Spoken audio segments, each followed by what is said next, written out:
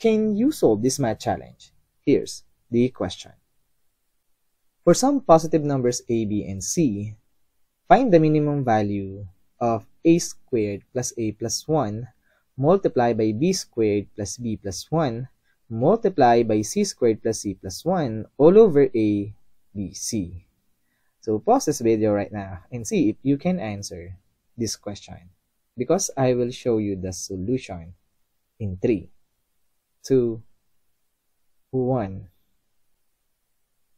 Alright, so for some positive numbers ABC, then the goal is to find the minimum possible value of this expression a squared plus a plus 1 multiplied by b squared plus b plus 1 multiplied by c squared plus c plus 1 all over ABC.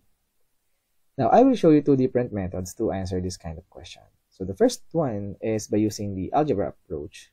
And the second one is by using the AMGM inequality, which is a very straightforward technique to answer this kind of question. So let's begin first with our first approach, which is the algebra method. Now, to answer this using algebra, take note that a squared is always greater than or equal to 0. If we put 0, so 0 is greater than or equal to 0. If we put 1, we have 1 squared or 1. 1 is greater than or equal to 0. This is always true. And this is also true if we have a plus 1 raised to the power of 2. This is always greater than or equal to 0. And also, this is also true when we have a minus 1 raised to the power of 2. This is again always greater than or equal to 0. Now, in this tree, we will use the third 1. So let's focus on this.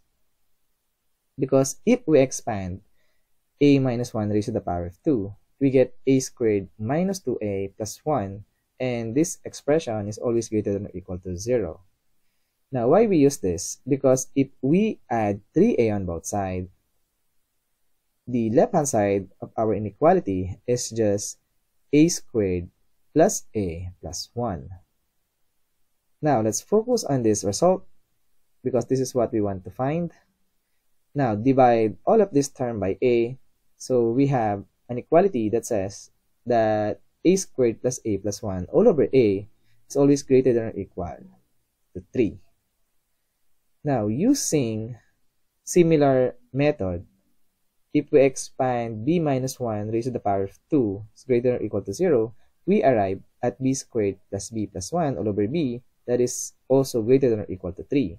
With the same reasoning, we also have c squared plus c plus 1 all over c is greater than or equal to 3 also. Now, using this three inequality, if we multiply all of this, we arrive at this given expression. And it says that this given expression is greater than or equal to 27. It means that the minimum value of this expression is just 27. And this happens when a equals b equals c equals 1 or all of this variable is equal to 1. So, using algebra approach, we can say that the minimum value of this expression is simply equal to 27.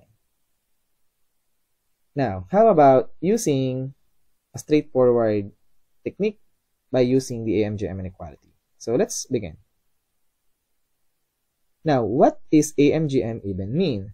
So it says that the arithmetic mean of some positive numbers is always greater than or equal to its geometric mean. Now, let's try this inequality to our expression. We have a squared plus a plus 1. And take note, a, b, and c are all positive numbers. So we can say that a squared is positive, a is positive, and of course 1 is positive. So we can use what we call the AMGM inequality. If we get the arithmetic mean of this, it says that it is always greater than or equal to its geometric mean. So we have a squared plus a plus 1 all over 3.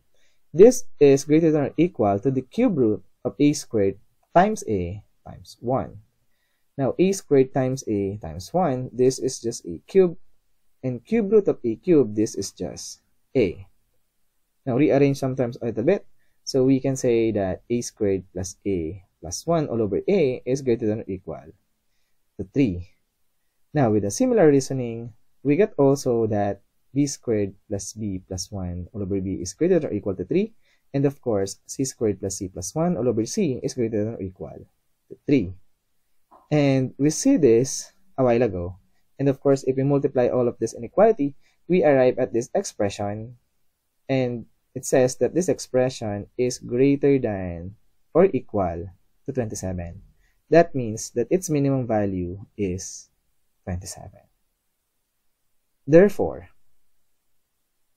given that these a, b, and c are all positive numbers, then the minimum value of this expression using two methods, algebra approach and AMGM inequality, we get that the minimum value of this expression is just 27. As always, we are done.